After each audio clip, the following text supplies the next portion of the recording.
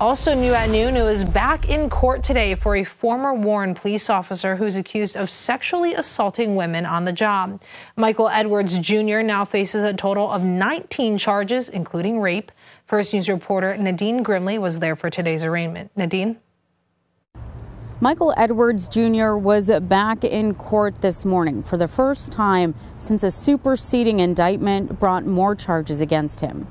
Edwards pleaded not guilty to all 19 counts. The charges include rape, gross sexual imposition, sexual battery, extortion, dereliction of duty, theft in office, menacing by stalking, and attempted gross sexual imposition. Two additional victims were identified in the new indictment, bringing the total number to four. The alleged offenses happened in January 2024 and the summer or fall of 2023.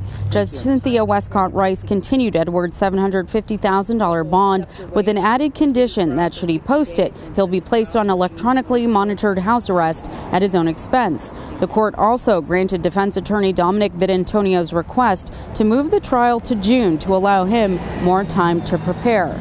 Now, at this point, Edwards is scheduled to be back in court for another pretrial hearing on May 1st. In Warren, Nadine Grimley, WKBN 27 First News at noon. Hi everyone, I'm Lindsay Watson. Thanks for watching the WKBN 27 First News YouTube channel. If you want more video news, subscribe to our channel and don't forget to download the WKBN 27 First News app for breaking news alerts.